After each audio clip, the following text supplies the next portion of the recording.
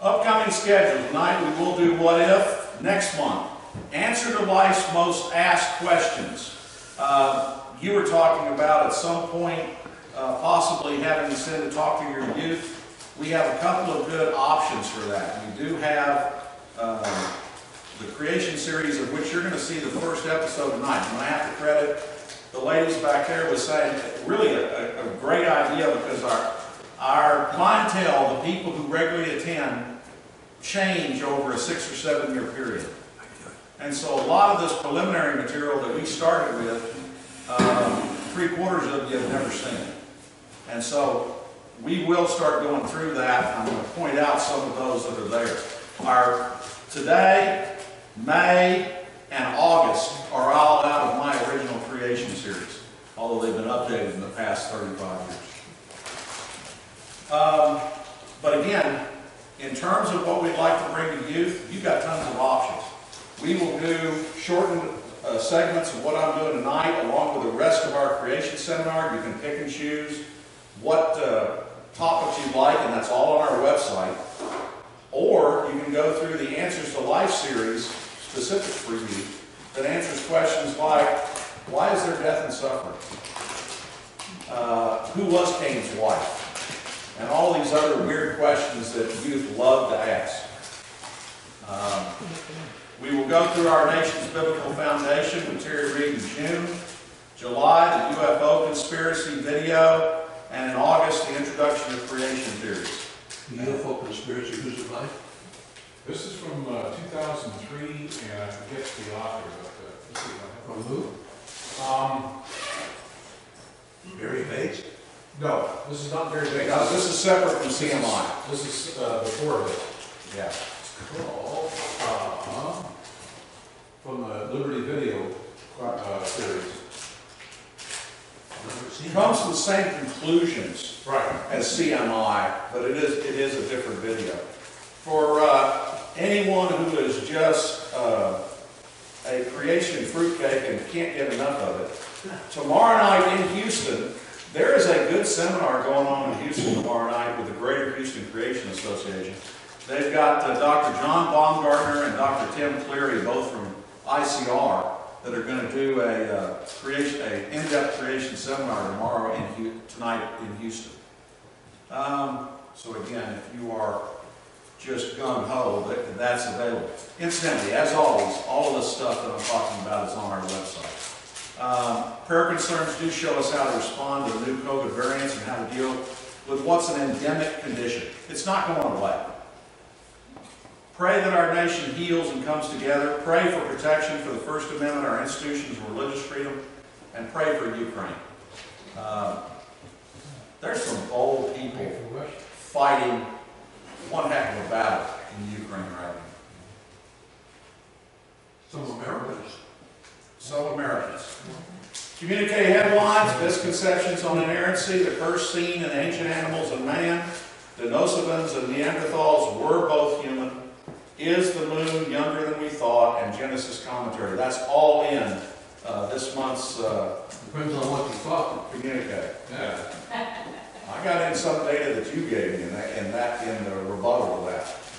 Because what, the- all they're doing in the article, what I often do, is I grab something out of a technical journal or off the, off the internet. And these guys are saying, no, it wasn't, it wasn't four point uh, four billion years old, it's actually four point two five billion years old. And I take, yeah, I take that as a springboard, one, to use your data to show how bad those dates are, how bad the date is. And then start to talk about the whole history and, and, and where common sense should show into that argument. Okay, uh, we still are on radio, have been for more than five years now. Yay! Uh, we just, fast. Time flies whether you recognize it or not. Uh, We do have Life in Outer Space this past weekend, that's now on uh, podcast. What is that, microscopic or macroscopic?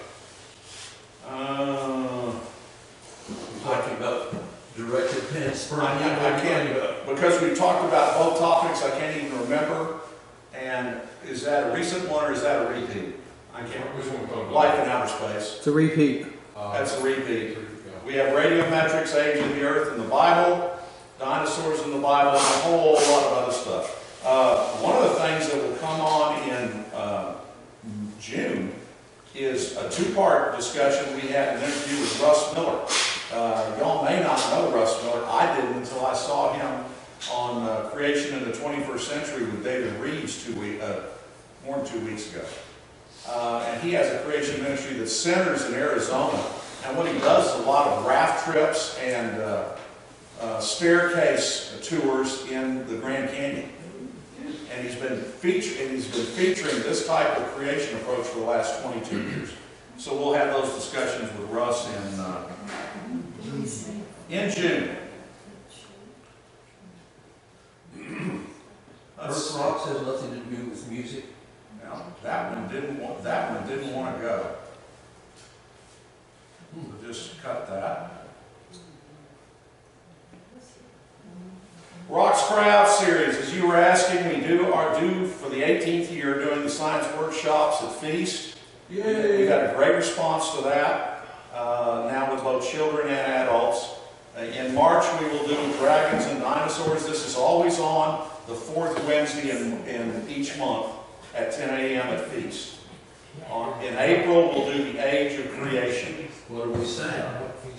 Six thousand or twelve Uh, thousand? it- Well, we're, we're, we'll take anything less than 15,000. Oh, The, okay. the, the, the, the- the point, the point is, it ain't 4.5 billion. I know that. Okay. And I will tell you that this has been so successful at Feast because that uh, Rocks Cry Out series of Bruce Malone out of Search for the Truth has now stretched that out to an 18-part series that we will do parts 7 through 12 next year at Feast. Uh, What does FEAST stand for? Family Educators Alliance of South Texas, and if I hadn't been athletic director for them for five years, there's no way I would have been, been able to answer that question. They're, they're the homeschool, they're the, they're the primary homeschool group in Bexar County. And in point of And the fact, secondary, huh? primary, secondary. Primary, secondary, everything. Well, the truth of the matter is, they are the precursor to most of what goes on in homeschool across the U.S. Um, They set up the first homeschool conventions. Wow. They set up the state basketball tournament. They set up the national basketball tournament. Wow. Um, Feast has a rich history. All right, I was glad I could participate in it, I'm glad you did. yeah. Although I can't get there at ten o'clock in the morning because that's Monday. You're, you're, you're actually doing something, yeah. Gainfully employed. Well, a little bit. All right, any uh, questions or thoughts on any of that before I get into tonight's program? This is a program that was uh, 35 years in the making. I have, I do have to credit Dr. Bill Tierney, who uh, gave me the ideas for this program and actually turned me from being a theistic evolutionist into a younger creationist 36 years ago when I saw a presentation by Dr. Tierney, a biology professor at Air Force Academy uh, in Grandview, Colorado, 36 years ago. Question. If God wrote the Bible, what kind of evidence would he leave? I, I hope so. If it's the original, we would expect most origin stories from other cultures to reflect and borrow elements from the original Genesis account. We would expect to see that, and we're going to investigate whether we find that. Two, historical. Do geology and history support the Bible? Yes, indeed. Well, we often hear that they've, oh no, they've disproved the Bible this way. We're going to talk about that. Does God write history in advance? Oh, Well, yeah. what does the Bible call it? Prophecy. We're going to find out that there are, there are 2,500 prophecies in the Bible, approximately. And we're going to explore how many of those have been fulfilled so far. He would protect his word. You're going to find out that he's done that rather magically over the years to protect his word. Philosophical and logical coherence. Does it all hang together? The Bible is 66 books written over approximately 1900 years by 40 authors on three continents in three languages. And yet, does it all hang together as, as if one mind was writing? it? We're going to examine that. And finally, is there pre-science in the Bible? Pre-science would be, sci- the Bible is not a history textbook. However, if it's going to talk about the creation and what God's done, it's going to by chance or intermittently talk about science, and when it does, we would expect it to be 100% correct.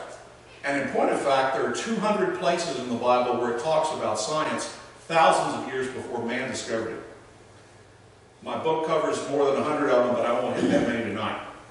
If it's the original, we would expect most origin stories of other cultures to reflect and borrow elements of the original. We're going back to that first point. Now, first off, what does it say in Genesis 1? It says, In the beginning, God created the heaven and the earth, and the earth was without form and void, and darkness was upon the face of the deep, and the Spirit of God moved upon the face of the waters. It also says God created dry, light, dry land, vegetation, sun, moon, stars, birds, fish, insects, animals, and finally the first man, each re- reproducing according to its kind. And we're going to find out whether we find these types of elements in creation accounts from all over the world. We examined over 300. There aren't 300 in the book, and there's not 300 tonight, but we're going to examine a few of them. What do we see in other cultures' origin stories? Well, in Buddhism, creation occurs repeatedly throughout time. At the beginning of each cycle, land forms in darkness on the surface of the water. Where have I heard that before? Right out of, could be right out of the Bible. There are spiritual beings who populate the universe in the previous cycle or reborn. And one of them takes the form of a man and starts the human race. We started from what? One original man. Unhappiness and misery reigns. Sadly, that's on our resume. When did sin come into the world? World, we brought it. This is today. Eventually, the universe dissolves and all living creatures return to the soul life. And then they talk about the cycle repeating. But are there elements here that could be from the Genesis account if Genesis predated the Hindu faith? The Buddhist faith, excuse me. All right? Chinese. You may not know it, but prior to 500 BC, the Chinese were monotheistic. They only became polytheistic once uh, Buddhism and, and, and uh, Confucianism. Tao, Confucianism, the two, first two were Buddhism and Confucianism. They now have Taoism, Jainism, they got every ism there is. Yeah, they've got a lot of isms. But they were monotheistic to start with. In 2250 BC, Emperor Sun sacrificed to Shang-Ti. Shang-Ti is the god. In the beginning, there was great chaos without form and dark. Again, consistent with the Bible. The five elements or planets had not begun to revolve, nor the sun or moon shine. Again, according to the Bible, when did the sun and moon start shining? Day three. Four, excuse me, thank you. Thou, O spiritual sovereign Shang-Ti, dost divide the grosser part from the purer. What division occurred? The water, the light from the dark, which would be the grosser from the less, or the land from the water. Thou madest heaven, thou madest earth, thou madest man, all things with, reproducing power got their being. One, is that correct order? Hmm. Heaven, earth, man, yes, but also all things reproducing power got their being could be a reference to kinds that's talked about in the Bible. Hmm. Again, with the Chinese, I do another presentation in which I look at about 112 of the, hot, of the ancient Chinese pictographs, picture words. And in those, we find some interesting things. For example, if you put heaven and emperor together, you get Shang-Ti God. Well, that makes sense. But there's some that show that this had to come from Genesis. This had to come from a knowledge of Genesis. Spirit is one cover or roof, so hovering over, water, three persons. Why would there be three persons? The Trinity. In 2500 BC in China? Ooh. And you don't think, well, that, that, that really can't be true. And he's a worker of magic. But that can't be true until you see the other 111 and it's so consistent. In point of fact, out of that presentation, you can understand everything from Genesis 1 through 11 just through Chinese pictographs. They knew the, they knew the account. They knew the story. Other theories, but in Africa, in the beginning only darkness, water, and the great god Boomba. One day in pain, Boomba vomited up the sun, which dried up some of the water and revealed land. Then he vomited up the moon, stars, and the animals, and finally man. Now, if you can get by all the vomiting, is the order right? Is what occurred right? Pretty close. Is the drying up of the, of the, of the land and appearance of the land correct? Well, it's appearing. It appears after the sun. Un- underst- Understood. But it- again, the point is there are elements here. Is it, are these through time and difference going to be distorted in some way? Yep. They are. But the elements are there. The Mayans were now changing not only hemispheres and continents.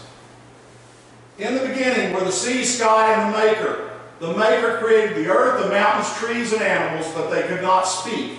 So he created humans first from the mud of the earth. According to the Bible, we were created from what? Dirt. The dust of the ground.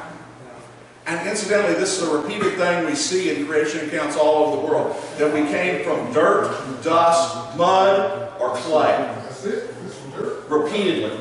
Just a little bit of difference in water. Yeah. The Epic of Gilgamesh. Now, one of the interesting things about Gilgamesh is, and we'll talk about this later, is, is there are people who believe that the Bible borrowed from Gilgamesh and from the Enuma Elish. They're wrong. But they're wrong, and we're going to talk about that. Uh, Gilgamesh was an epic poem from Mesopotamia. It's among the earliest surviving works of literature around 1800 BC. It parallels the story of Cain and Abel. It has nine elements of the story of Noah's Ark and the flood. The Bible details in more works. There are two details tests that show us that no, the Bible account came first. One is that when you start looking for elements that are from Gilgamesh as opposed to the Bible, when you look at those 300 or more accounts across the world, which one has elements from which more? The Bible. Now, that could mean the Bible was the original account, or it could just mean it was more widely distributed. There's a second details test, however, and that second details test that, that uh, paleontologists use, or archaeologists use, is that when they start looking at a text and they're trying to figure out whether it was the original or something else was the original, just like humans, always the more embellished text is the copy. That, well, that's just like my son. My son, when I took him up to, what's the lake up there near Llano? Took him up near Llano. He dipped his, his uh, rod in, caught a fish. It's about that big. We kept it, did an impression of it, and all that kind of stuff. By the time he was 18, that was Moby Dick. Okay? The size of the fish he caught and all this kind of stuff. We always embellish things with time. Well, And the truth, and the truth of the matter is, the Genesis account is more succinct. The Gilgamesh and Enuma Elish uh, sagas are much more embellished, and they show that they came from the Bible in that way. do do you think the problem is the writings of Moses were like about 1400 BC? So The writings of Moses were 1400 BC, but one of the things I'm going to show you is that this account, he was only an editor. The account was there from, from when we got off the boat with Noah. Okay? And it was carried forward either by other writings or by word of mouth for the next, what's 25, 1100 years. Absolutely. Uh, the Enuma Elish is a, is a Babylonian creation account. The cuneiform script was again written around 1800 BC. There were seven tablets. Why do I find that interesting? Seven days of creation.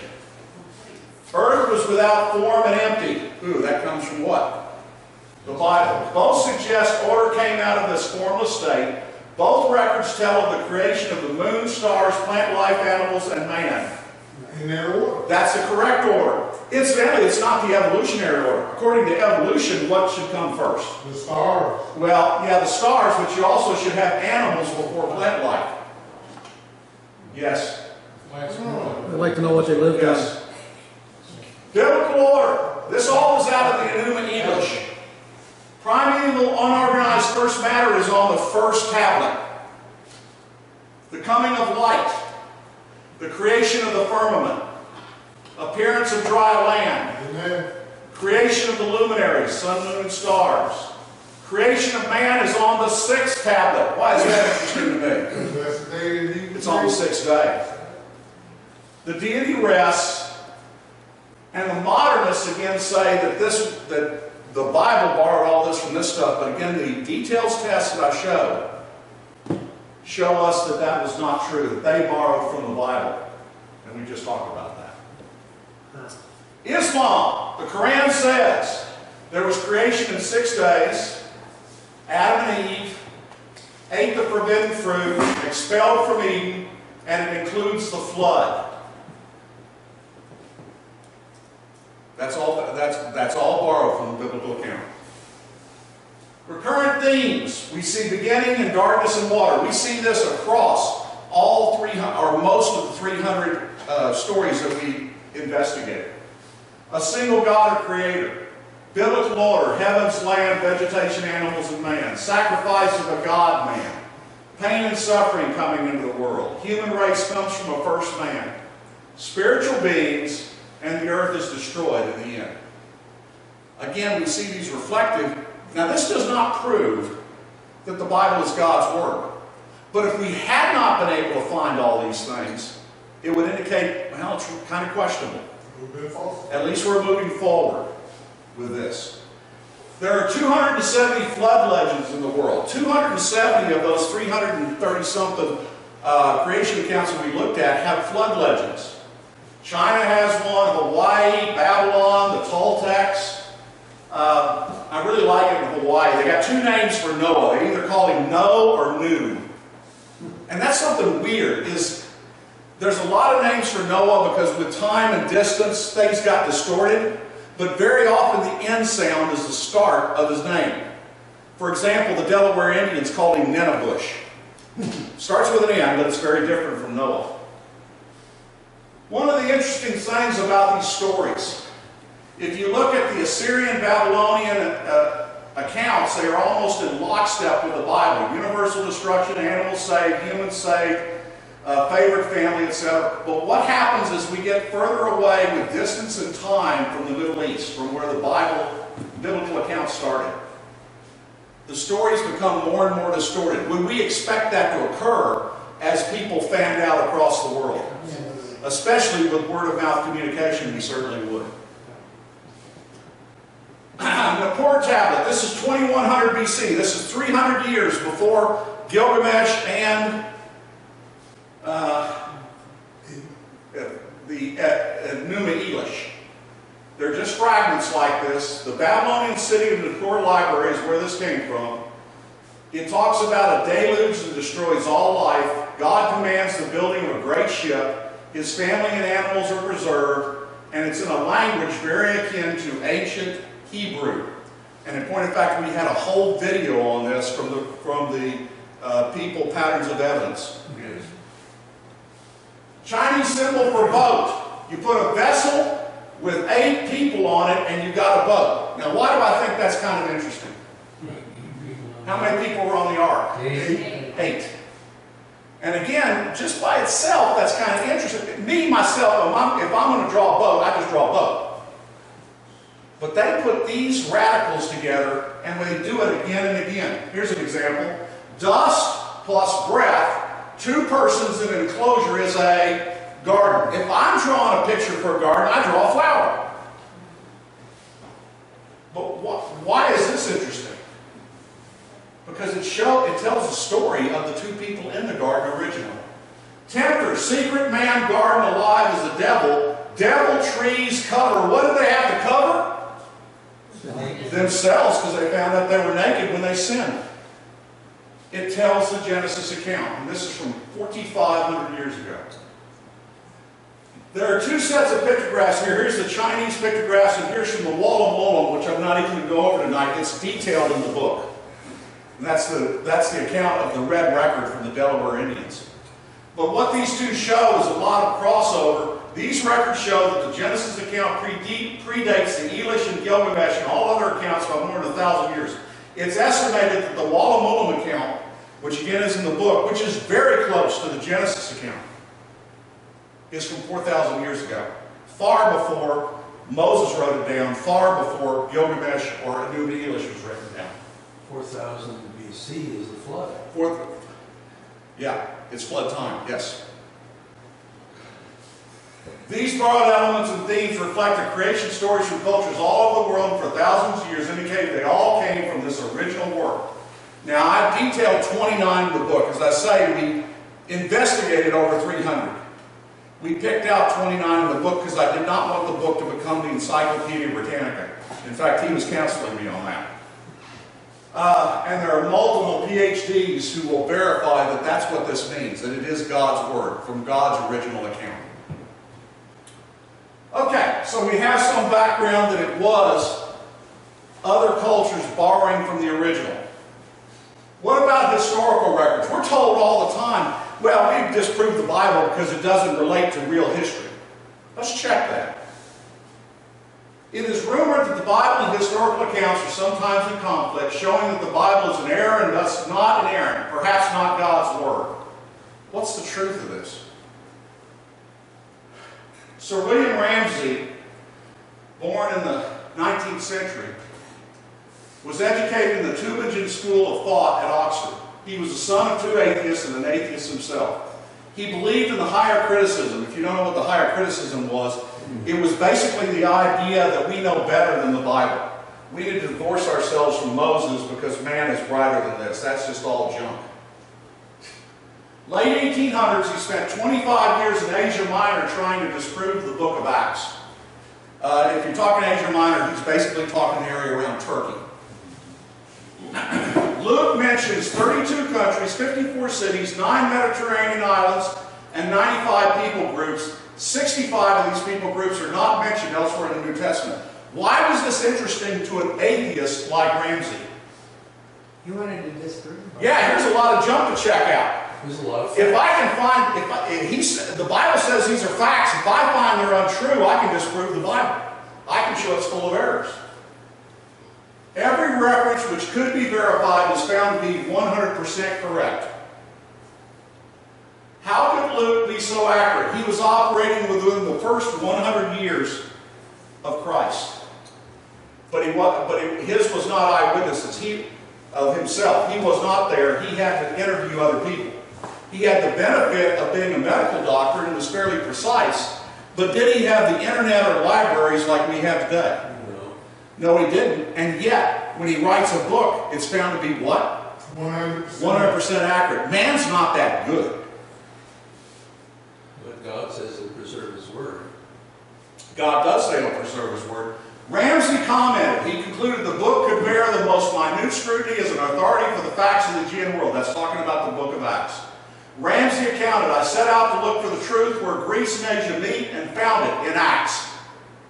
When Ramsay turned his attention to Paul's letters, most of which the critics dismissed as forgeries, he concluded that all 13 New Testament letters that claim to have been written by Paul were authentic. He was an atheist. What did the Bible do? Changed them. it turned him into a believer. And there's a lot of stories like that. What happened to Lee Strobel? Same. What happened to Josh McDowell? There are a lot of people that set out to prove God ain't there, is wrong, and the Bible and His Word and His truth have changed them. You know that we found Jericho? It's not just a Bible story, it's a biblical account. Here are the relics of Jericho with a, with a schematic of the, of the archaeology and unearthing.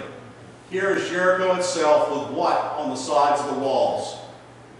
Places where it was what? Fallen out. The Ebla. I, I, think Jericho is also what talked about in the Exodus movie too.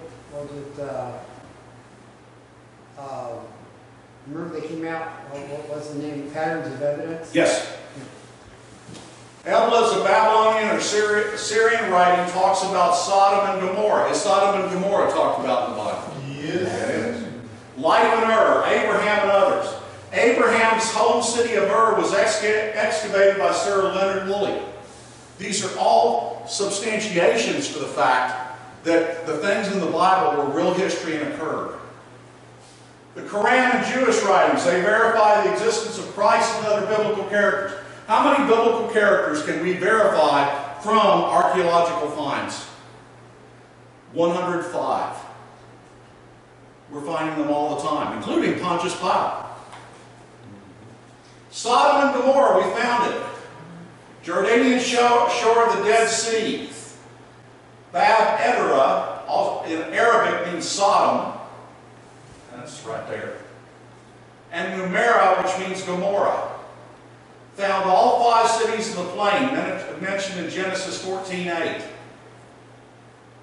All five were on a Dead Sea rift, a plate boundary. What does that tell you? All God had to do was say, have a good earthquake and a good volcanic action. Are you pointing them out on that diagram? Could you do that? I, I would have, I would have to find them in pieces here. They were better on the previous one. With Sodom being there and Gomorrah being, uh, excuse me, with Gomorrah being there and Sodom being there. That's quite a distance between the two of them. Yep. Because it's this whole valley that's taken out. All right, at God's command, the rift ruptured and a pyroclastic blast ensued.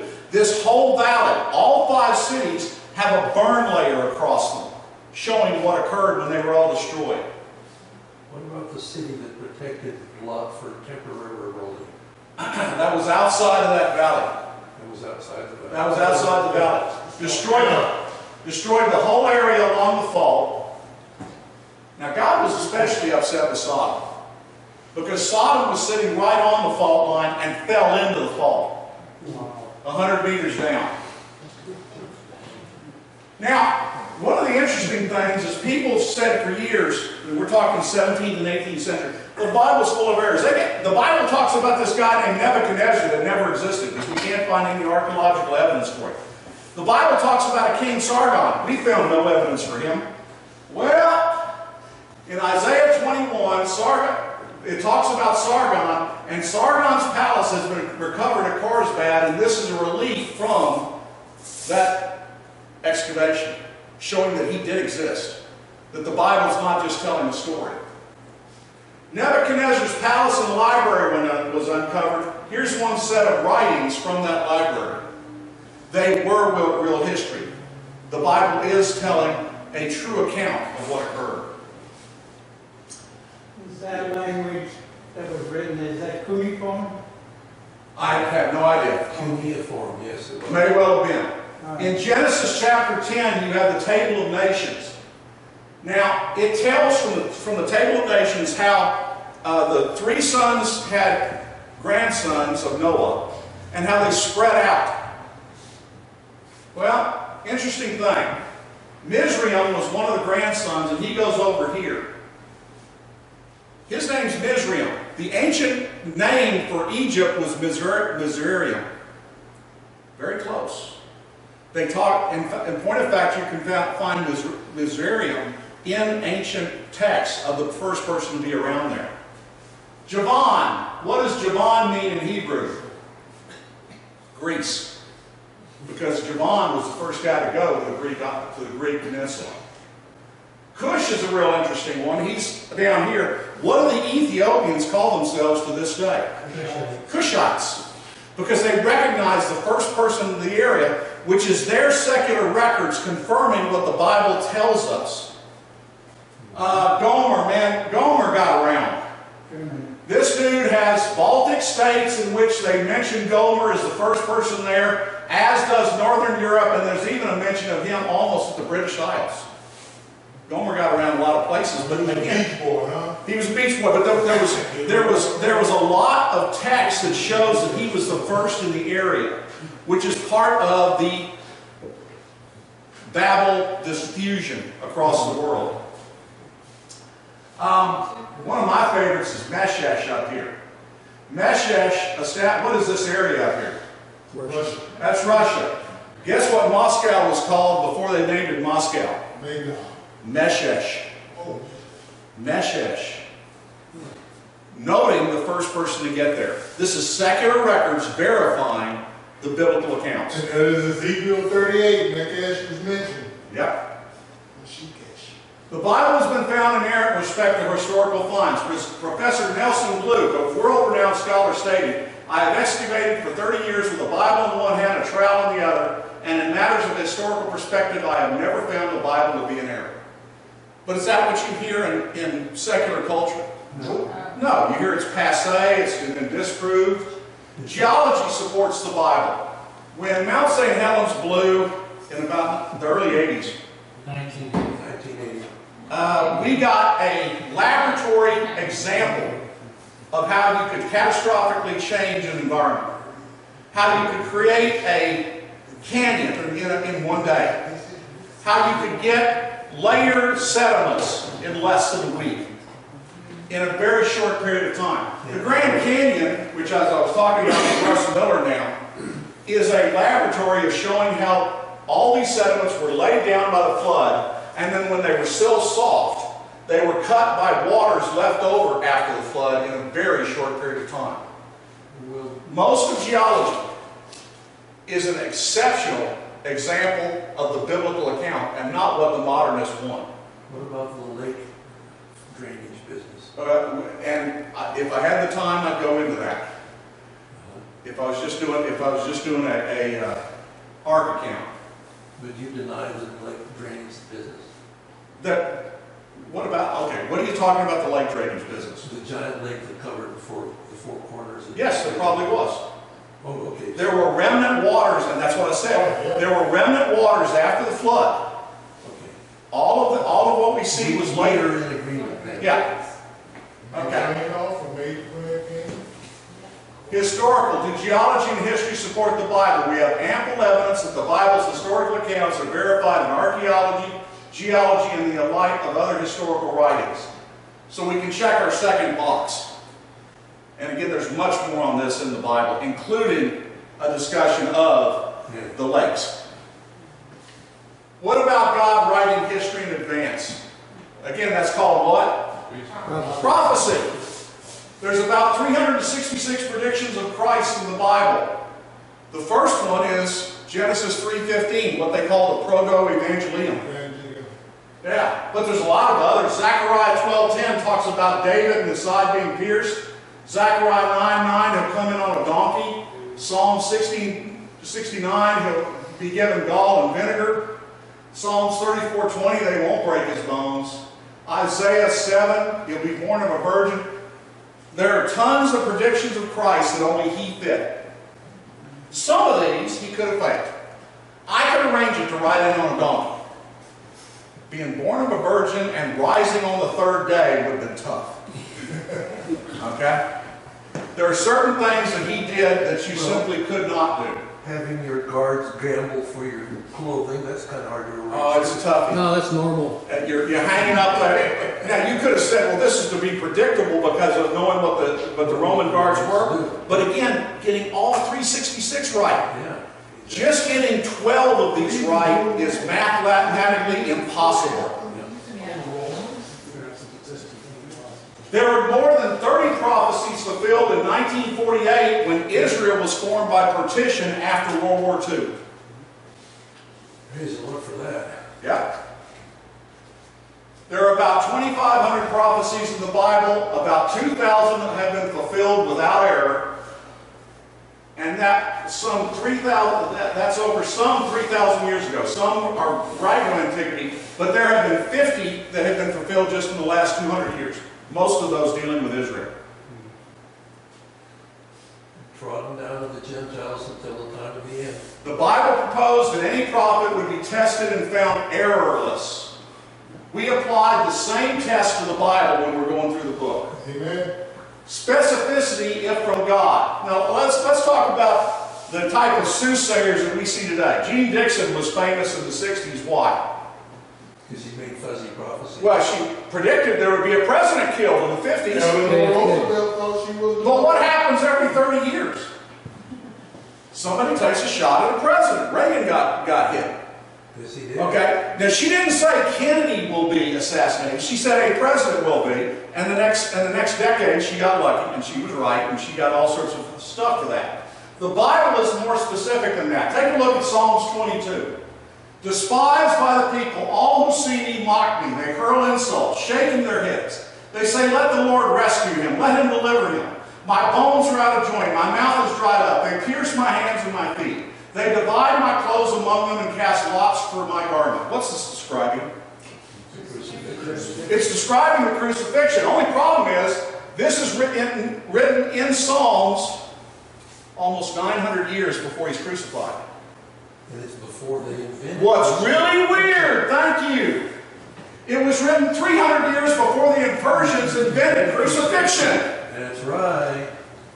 They're even talking about a method of execution that won't come yet. And they're talking with specificity. This is what the Bible does. It shows incredibly specific things, and then they're 100% proved. Amos 9 and in Jeremiah 31. Though they go into captivity before their enemies, thence I will command the sword. I will sift the house of Israel among all nations that day, and I will raise up the tabernacle of David that is fallen. When they brought Israel back in 1948, where did the Jews come from? Everyone across the world. Israel has actually been re put back together three different times.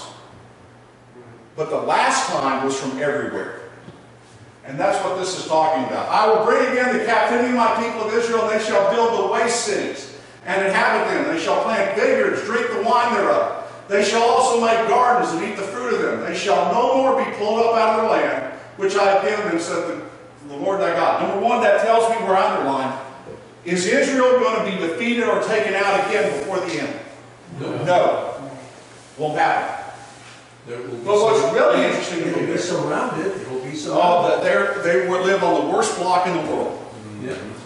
But what really is interesting to me here is, is when they came back, they came back into what even what wasn't even normal Israel. They were given a piece of the sea. Yep. And when they did, they're in what area? The Negev Desert.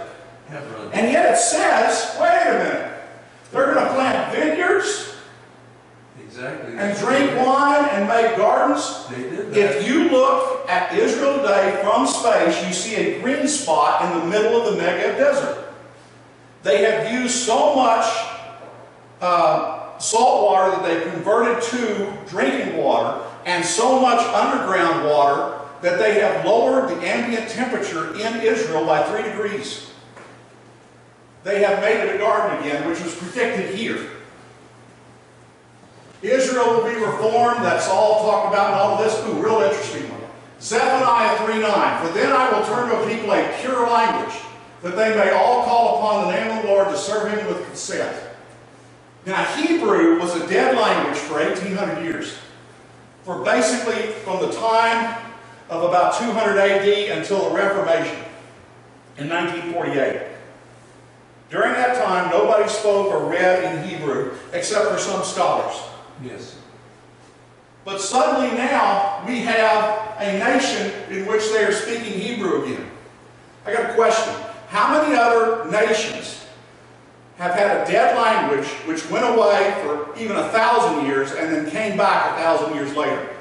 None. It's a, it's a round number. This is a God thing. And it was predicted in Scripture and it has occurred. The Scripture side, we actually make reference to more than 400 incidents where God foretold of historical events before they happened. In the book, I cite 420. Don't, don't run away. I only go in depth into 25 of them. They're only a sampling of what's in the Bible.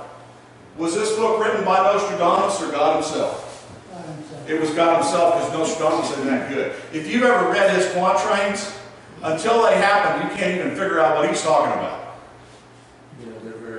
Yeah, they're very, That's what Satan wants. they're very fuzzy. They're very fuzzy. Does God, does the whole book hang together with a single theme and evidence of a single writer? Oh, yes. 66 books written by 40 authors over more than 1,500 years. 39 books in the Old Testament tell of God, His creation, our place, and His law. 4,000 plus years to demonstrate to ourselves we cannot keep his commandments. Originally in the garden, we were given what? One commandment, couldn't handle it. Then he gave us ten, and a few thousand years to show ourselves what? You can't do it by yourself. But the good news was, from the very creation, he had an answer. He knew we couldn't get back to him. And that answer was what? Jesus. Jesus Christ, who is predicted 366 times in the Old Testament, and the whole New Testament is about who? Christ. 27 books in the New Testament show us he knew that, and he had a plan to bridge the gap between a holy God and man from the creation. There's some things in the Old Testament some people don't know is there. Example, Isaiah 40:11 can only be talking about Christ, just like that Psalms piece I showed you earlier. Ezekiel 18:4 talks about sin and death. Wages is the, is the, is the death is the wages of sin. Wait a minute, where have I heard that before? It's in the New Testament. It's in Romans. Yeah. Three Yes, twenty-three. I'd like to bring up that Isaiah 40, uh, the chapter before that is 39, which equals the Old Testament. And in the last 27 one, starting at 40, is the 66 books of the book of Isaiah, which is a, a sort of a, in capsule saying 66 books, no more. Yeah. Numerological. Mark 10, 5, and 6. Christ believed in the creation. If you're saying the six days of creation didn't occur the way the Bible says, you're talking, you're calling Jesus Christ a liar. Amen. That's what they're doing. Luke 17, 27. Christ believed in Noah. Yes. He believed in the building of the big boat. He didn't think it was just a story. He thought it was the truth. They were both carpenters. It all hangs together. Old and New Testament both have the golden rule. New Testament confirms the Genesis account. Passover becomes the Lord's Supper. Both talk of a worldwide flood. New Testament believes in the Old Testament prophets. There's the Trinity in both. You may not have thought of that. Genesis 1 2. What does it tell us? And the earth was formless and void. And the what? Spirit hovered over the face of the deep. What spirit are they talking about? Genesis 1 1. In the beginning, God, except that God they used there in that sentence was Elohim. What is Elohim? Plural. Plural. In the beginning, gods. But wait a minute, the whole Bible is consistent on the fact there's only one God, so why would they use the plural there? Yeah. When, when, uh, Father, Son, when God came to, to visit Abraham before he went to judge uh, Sodom and Gomorrah, first there's three, then there's one, then there's three, then there's two. I mean, it, back and forth, back and forth, back and forth. Three, three, one, three, three, it goes on and on. Because it's a Trinity. It's a different existence than we understand. Amen. And that's what it's talking about. And that's not the only place. In Genesis 1 1, it's not the only place where a plural God is used in a singular form in a sentence, showing us that the Trinity was also an Old Testament. And there are more things. Confession, saved by faith. How was Abraham saved? Faith. By faith. Well, guess what the New Testament tells you you're saved by? Faith. Consistent. The Dead Sea Scrolls are the oldest intact scriptures. They're about 2,000 years old, and it shows God's words preserved. Again, this book all hangs together as if there was one mind writing. It even has an opening chapter that tells you how things began, and a closing chapter, we call it Revelation, that tells you how the whole thing wraps up. Mm-hmm. It is a complete book with one mind writing. And it tells you not to modify it. Not to add to it. In fact, there's bad penalties Yeah. if you add to it or take away from it. Exactly. Okay, what about protecting His Word? In the first two centuries after Christ, both the Jews and Romans tried to eradicate members of the Way. If you don't know, the Way was what the Christians were called during the first century. Amen. And they tried to get rid of, excuse me, and they tried to get rid of their writings. Both survived and thrived. Voltaire, around 1750 AD, said, in 60 years there should be no Bible. That was 260 years ago, and the Bible is still the most sold and printed book in the world as it has been for centuries. God has a sense of humor. One of my favorite stories is the fact that about 50 years after Voltaire died, his house was sold to a Bible institute that printed, guess what? Bible. Bibles out of his house. The evil Bible. God has a sense of humor. I like that. Human word of mouth. Uh, Jim, I did this experiment 30 years ago in a seminar. I had 30 people in the room and I whispered to them that two phrases. Jim went to the aquarium and saw many fish and took pictures of some of them. And then the guy whispered it to, whispered it that one, that one all the way around the room to 30 people. Did it come out the same? No, no. that's what you went to the first thing, that though all those other three hundred and something testimonies are that situation. They changed. Here's what came out that night. He went to the coast and caught many of the biggest fish in history. He has the pictures to prove it, and some of the fish are now SeaWorld. Do we lose a lot in translation by word of mouth? And that was the same night. Without God. That was in 15 minutes the same night. What happens over centuries and with thousands of miles of distance? We lose things. The Jews had very good methods of, of making the words have numbers and counting them and keeping track so that they would not make those. That, uh, that, the, that, the Masoretes and, and others were very big on this. However, we're still not that good. It didn't happen. God's unmistakable print, foot- fingerprint on history and His Word. Because remember, I'm not just talking about protecting this from the time of the Old Testament prophets. I'm telling you this account was known from when? We got off the boat. Amen. And how was it protected during all that period of time? The Dead Sea Scrolls from the 40s and in the 1940s and 50s, that's when they were found, are the oldest intact scriptures. God's word, when we compare our current translations to those found about 108 from 100 AD, are 99.99% accurate. Again, man's not that good. As noted, archaeological finds and historical records verify the accuracy of the Bible.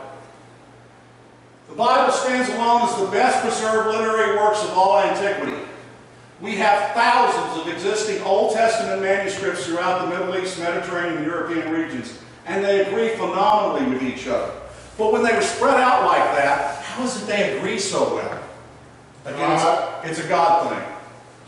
The manuscript evidence for the New Testament is also dramatic with nearly 25,000 ancient man- manuscripts discovered in archives so far. Today's translations, as I, as I was noting before we started tonight, the King James has problems, like Holy Ghost I don't think is quite right. It should be Holy Spirit. But from all of these manuscripts, can we tell pretty well what the original manuscript said? Oh, yeah. We can. We can piece it together. Now, there are other writings like Julius Caesar's Gallic Wars, Pliny's Younger's Natural History, Herodotus' History. How many of those copies do we have? Ten, seven, eight? Are people questioning whether those are anywhere close to the original? No, they don't. No, they only take pot shots at the Bible that we have tens of thousands of manuscripts of and can verify. Plato is another example. Renowned Bible scholar F. F. Bruce declares there is no body of ancient literature in the world which enjoys such a wealth of good textual attestation as the New Testament. Just one more piece from, Gen- from uh, China. Genesis 2.7, God formed man from the dust of the ground and breathed in his nostrils the breath of life, and man became a living being. And to create, they use the radicals for breath, dust, walking, and alive. Again, when you see this, created, created in the Chinese language approximately 2500 BC, you're seeing that they understood the Genesis account. Clearly. In spite of whole nations who would eradicate the Jews and Christians in their writings, they have prolifer- proliferated throughout history. In spite of human and te- technological limitations, the Bible shows inerrant accuracy to an unbelievably miraculous extent. Remember how bad our mouth, word of mouth is. This is God's unmistakable footprint on history and His Word, Fingerprint. His fingerprints. And the final thing we get into is pre-science. If we pass this test, this is six things out of six. If you're a mathematician, we are down to a 1.6% chance of, of all of these things coming to be fruition, of coming to be proved. You can't apply probability to stuff like this. Well, I did. You can. Writing in the Bible, which reveals an understanding of science far in advance of scientific breakthroughs. Moses wrote in Numbers 19, any person touching a carcass must be washed. Well, that's just common sense. They knew that because that made common sense. Let me tell you a story, and this is what I do in the book a lot. I'll tell you a story after that. The story before that was of Dr. Semmelweis, which I've left out. The story after this is of what happened with the Black Plague. About, about, let's see, about 2,500 years after this. What do they do during the Black Plague when somebody gets sick? They keep them in the house with all the other family members and nurse them. So what happens? They all be sick. They all get sick. But anyone touching a person must be washed. And in fact, there are others, there are other scriptures that tells us if somebody's sick or they are unclean, what do you do with them? You quarantine them. Yes. You keep them away from everyone. They didn't pay attention to that and they paid for it. Any open vessel jar must be considered unclean, excellent growth medium. We said, well, that's common sense. You leave a jar of mayonnaise open too long, you better not go eat from it. They didn't understand that at that point. Don't eat rodents, hares. They harbor bubonic plague, rabies, some of the worst diseases known. Reptiles live in stagnant waters, growth medium. Cats feed on rodents. Well, there's a mouse. Wait a minute, that's the wrong kind of mouse. Dogs, rabies, and other diseases which we now immunize against them. Further Mosaic laws about transferring diseases from animal to animal. This is all in Moses' writing. How did he know all this? I read it. That's why bestiality was. Leviticus 11. Hebrews allowed to eat cattle, family, sheep, goats, deer, fowl, and fish with scales and fins. Unclean, things in water without scales and fins, cats, dogs, birds of prey, reptiles, hares, swine. Let's talk about swine for a minute. We eat, I ate pig today. In fact, I had, I had ribs today. I had sausage. Today, we cure our meat to where it doesn't have things in it. For example, in, in swine, there was trichinosis worms, a type of tapeworm. Now, trichinosis has a incubation period of between 10 and 45 days. Do you eat bad pig meat because you didn't cook it well? And then a month later you get sick and you say, oh yeah, I ate pig a month ago. Do we make that association? No. Especially when another time you cooked pork, but you cooked it well and therefore you didn't get sick. That association is almost impossible to make it. How did the Bible make it?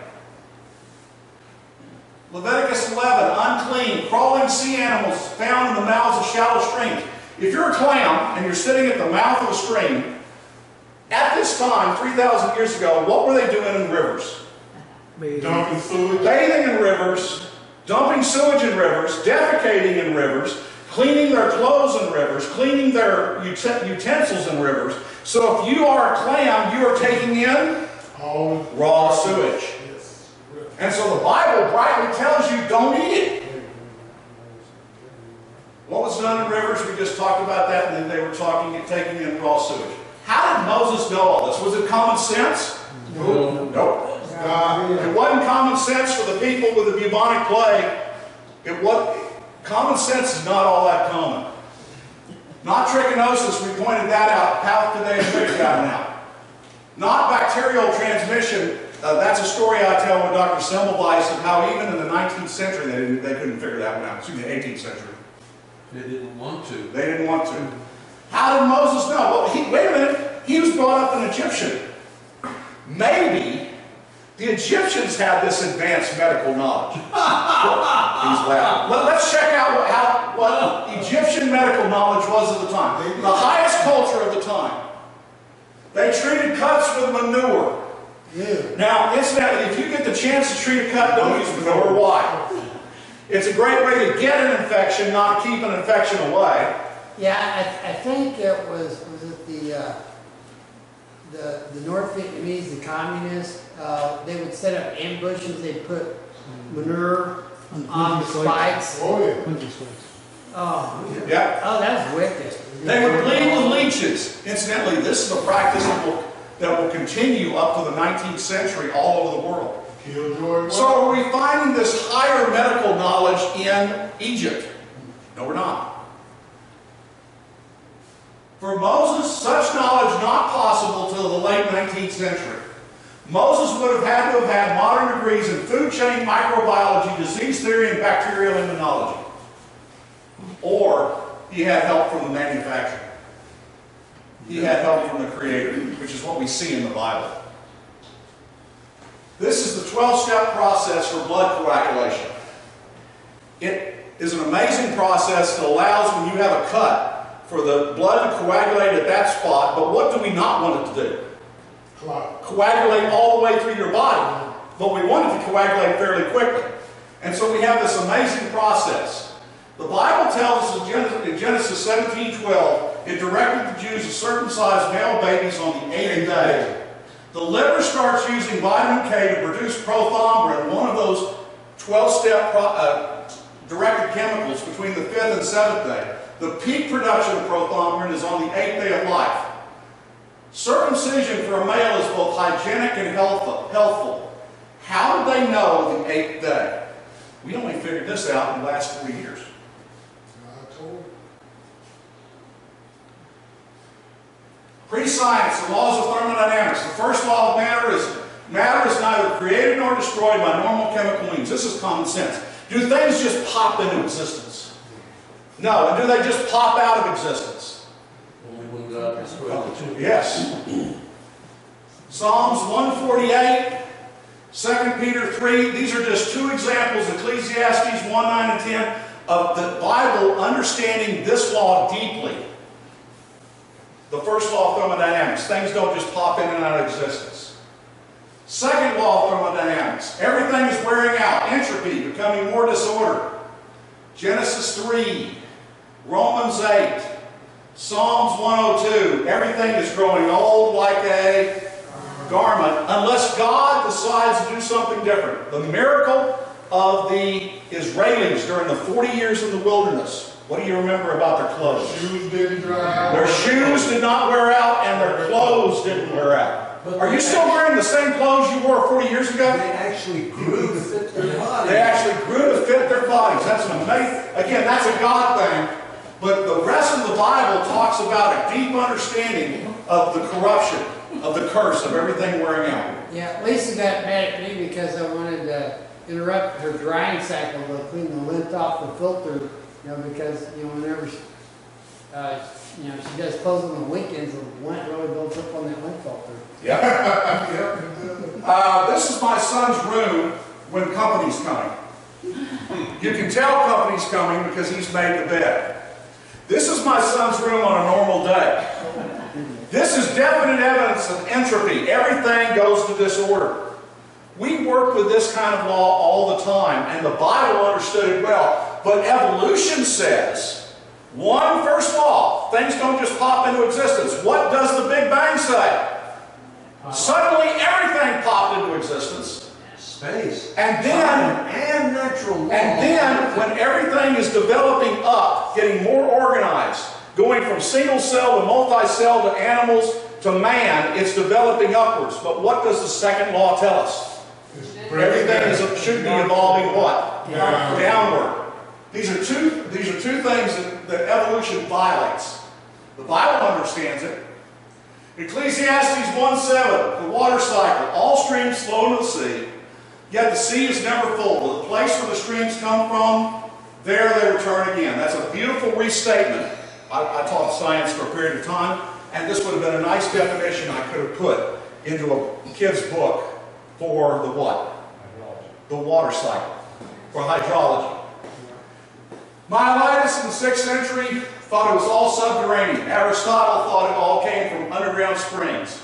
Da Vinci thought it, the mountains even, they had water coming up underground, even up to the top of the mountains. Galileo, it just gave him a headache because he couldn't figure out where all the water came from. It wasn't until Pierre Perrault Seine examined the Seine River Valley in 1674 that he actually figured out there's enough rainwater coming down here to go into the rivers and to go into the sea. And that, it wasn't until this time that they figured it out. But the Bible figured this out 2,000 to 2,500 years earlier. Well, the, the subterranean business is, is, is connected with the flood. Dave, Because before the flood, there was subterranean water coming up. And that was what was Yes. going around. Yes, Not the Bible figured it out, the Bible explained it. the Bible explained it. You are quite true. It was God who knew it. Didn't figure it out, God knew it. And is the one scripture in Ecclesiastes the only one that describes this hydrology cycle? No, Joe. No, they go on and on and on and on, showing the manufacturer of God's wisdom. Isaiah 40, 22, the circle of the earth, or the round of the earth. Now, you could have figured this one out if you understood eclipses and you understood some type of celestial mechanics. Maybe they figured that one out, maybe they didn't. But I'll tell you one they couldn't figure out. Job 26, 7, the earth earth hangs in space. Have they been up there and checked that one out yet? Nope. No, Hangs on that.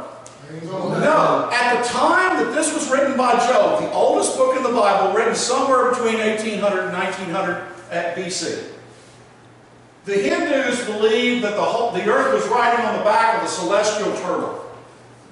The Greeks thought that Atlas was holding up the world. The Chinese and most of the world believed it was flat, and if you went too far, You fall you fell off. But the Bible had this one right. This is pre-science. 1 Corinthians 15, 41, each star is different. There are main sequence stars. Our, our sun is a what? G2 main sequence yellow dwarf. Yes. But of all the other yellow dwarfs that we found, it is Most The most stable. the most stable. It was made for us. We have not found one star that's exactly like another. We are getting verification of this scripture all the time. Hebrews 11:3, creation made of invisible elements. At that time, did they know that there were atoms and neutrons and electrons? No, but that was talked about in scripture. They argued about whether space was empty or filled with fluid. Job 38, 19 through 20, light moves. They thought light was just automatically existent. And yet we now know that it does move as the Bible talked about. Jeremiah 32, stars are uncountable. At the time of this writing in Jeremiah, which was approximately 600 BC, they believed they knew how many stars were in each hemisphere. They could count just about 3,000 in each hemisphere. And yet the stars are uncountable. What happens every time we get a new telescope? They. We find more. James Webb. We find more. Biogenesis, according to the Bible, everything reproduces according to its kind. Now, incidentally, folks, this is the most verified experiment in the history of humanity. Amen. Every time a chicken plucks out an egg, what comes out of the egg? A chicken, not an elephant. Every time an elephant plops out a baby, we don't get a lizard. Everything produces according to its kind. This is what the Bible says, but that's not what evolution says. Men and women. And ac- according to the Bible, life always comes from life. It will take Louis Pasteur to establish that for us in the very recent past. Abiogenesis is the, the dependence for evolution. It says at some point life came from lifeless material. Science is supposed to be about what we can test, repeat, and observe. Have we ever seen lifeless material become alive? Nope. Has never been observed. Not even Miller case. Well, five o'clock in a lot of government offices. The dead become alive, especially Friday at 5. Yeah. Don't get in the way. Now again, for brevity tonight, I cut out a lot of stories. Semmelweis, uh, Matthew Maury, they're all in the book. But does anybody know how George Washington died? Bloodletting. Yeah, let's take, let's take- take a look at this. Thursday, December 12, he was exposed to snow and 30 degree weather.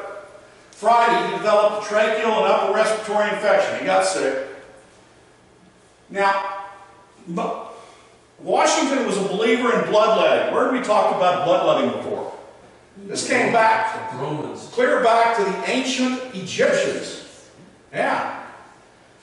He got a neighborhood bloodletter to come over. This wasn't a doctor, just a neighbor, who came over and took 12 to 14 ounces of blood out. Incidentally, Martha was protesting the whole time. His wife did not believe in this, but he went ahead and had the 12 to 14 ounces taken out. Saturday, Dr. arrived at 11 a.m. He wasn't feeling better. In fact, he was feeling worse, so he drew, drew another basin of blood. What they were thinking was, you're taking out the poison. What they called bad humors. My asthma.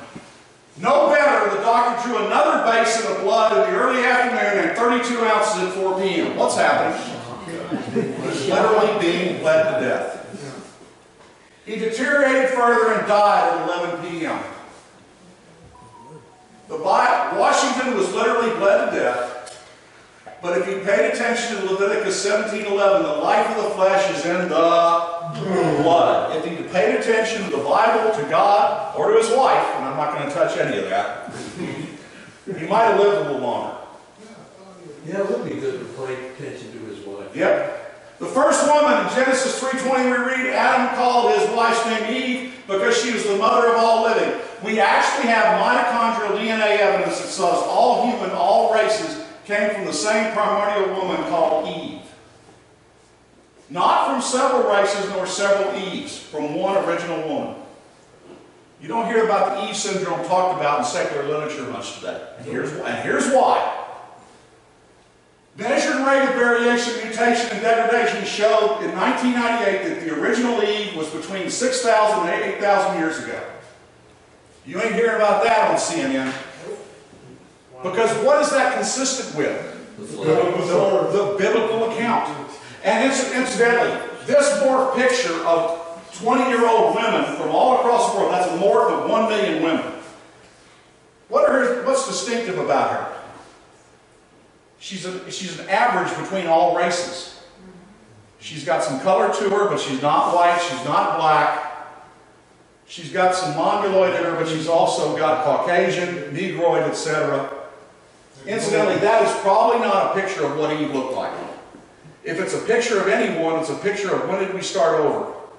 The flood. The flood, it may have been what Noah's wife looked like, but probably not that either because within 10 generations after an offspring goes out, their uh, genetics are so differentiated that there's not a whole lot of traits left. But again, evolutionists won't even talk about Eve because this is, as far as they're talking about, this is bad stuff. 20 studies show that if a person attends church on an even semi-regular basis, once a month or more, they will live longer and healthier lives. We got multiple scriptures that tell you that. This is all in the book. Confess your faults to one another, pray for one another, and they may be healed. The effectual, fervent prayer of a righteous man availeth much. That's out of James. Does prayer work? Yes. How many studies have been done testing a statistical link between prayer and lowering blood pressure and metabolic rate? Just that connection. How many studies? You're going to miss it. 1,200. With 80% of them showing a linkage. How many studies have been done on prayer and healing, what they call remote healing? There have been 191. Two-thirds of them showed a statistical link. 76, uh, 76% of them were excellent studies. Let me give you one example of that. 1999 at St. Luke's Hospital in Kansas City, Missouri by Dr. William Harris. Well, Harris was an agnostic. He had seen an earlier study, which I described in the book, which made him put the study together. There were a thousand patient study with strong prayer controls. When I say strong prayer controls, when you have a scientific study, you always have a treated group and a control group. The treated group got prayer. He made sure that not only was that control group not being prayed for by his people, they weren't being prayed for by anybody else. He did a questionnaire to find out if anybody would pray for them. Strong prayer controls. The prayer patients did 11% better. Dr. Williams, when you get an 11% um, result from a medical study, is that significant? It's, it's usually fairly significant. If they get 50%, they have steak dinner and a party. Yeah. Is there pre-science in the Bible? We have shown you about 40 examples of science knowledge described in the Bible far ahead of what had been known for the time. There's more than 100 in my book. Who gave the Bible such writers such modern scientific insights?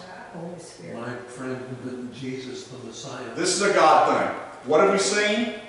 The Bible contains the original creation stories and its elements are copied in other cultures, and we showed multiple examples of that. Geology and history support the Bible, and we showed multiple examples of that. The Bible has revealed history in advance on thousands of occasions, and we showed multiple examples of that, 400 of them to be exact. He has protected His Word for more than 4,000 years in a magical way. And we have multiple examples of that.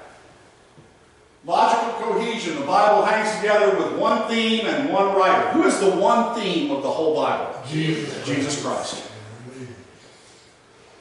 And the Bible is full of pre-science showing the Creator's knowledge of science thousands of years before us.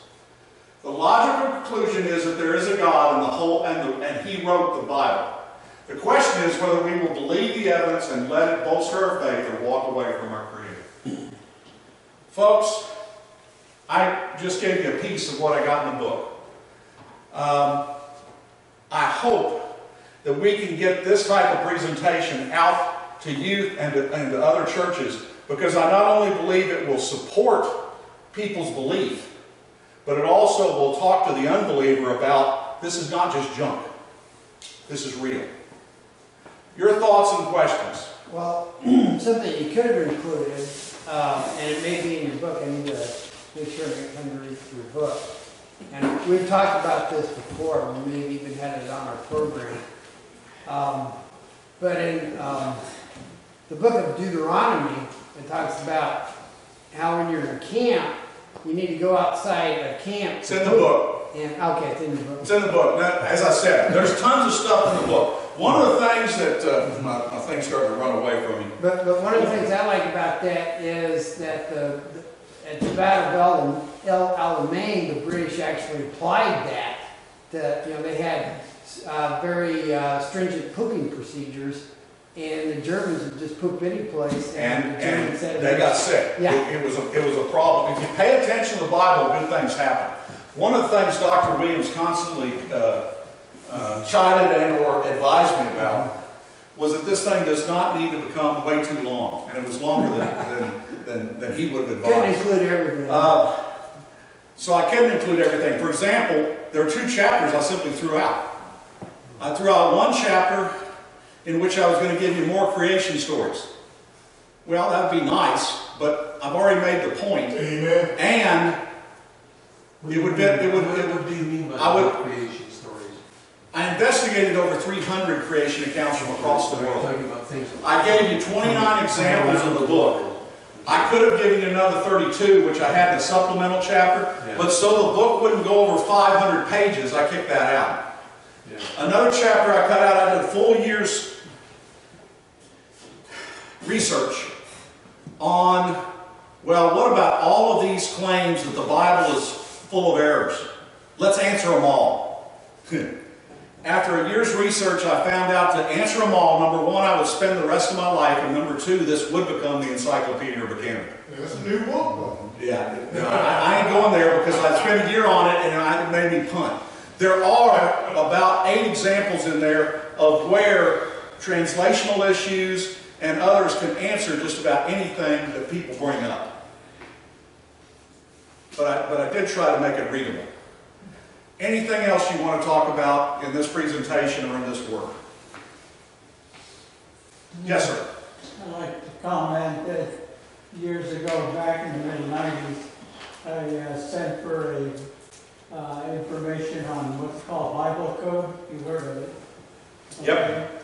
I found it interesting that in a little excerpt of a newspaper, Jewish newspaper in San Diego, I mean, yeah, San Diego, they said that in the Bible code, what they call equal space distancing, you know, in the Bible, from Genesis, they were able to get the name Torah, T-O-R-A-H, were able to get every 50 letters in the, in the Bible, you get T, O, 50, A, you know, all of that, all the way through the Bible, indicating God's imprimatur, you know, I- Yeah, I don't talk about the Bible code, I'm very aware of the Bible code. I I don't, I don't talk about it in the- in the book. Uh, Missler uh, has, Chuck Missler has really pushed that. The original uh, work by that was done by a guy named Pavin. And I do mention Pavin in my book because at one point he was a cryptographer for uh, our side in World War II. And one of the interesting things he does show that I believe in, I'm not too sure about the Bible code stuff, so I'm not going to touch that. All right. But in terms of what he does show is they had a methodology for checking a message when it came to them to see whether it was played with or not. Whether somebody had intercepted it and changed the wording in some way or whether it came from the original sender. And when you apply that cryptography to the Bible, it shows that it's that we are getting it from the original sender, that it has not been changed over time to a great extent. Anything else? All right. We have multiple copies, not only of my book, but other materials back there. The paid stuff is on the left side, the free stuff is on the right side. Um, If you're not getting our newsletter, the sign-up sheet is back there as normal. Any final prayer requests? I thank you all for your attention. I was not probably as bad as Ken Ham. I did an interview with Ken Ham one time. Ham, Ham usually speaks at about 80 words per minute, but he has gusts up to 120. because he's so excited about his stuff. Okay? And I get excited about this material as well. Let's Thank you for writing the book. Thank you. Let, let's pray. Lord God, thank you for these people tonight. Let, let this be a tool to be used, and I pray that it's a tool that you, that you have guided your hand in. Thank you for them and protect them as they go home. We ask this all in Jesus' name. Amen.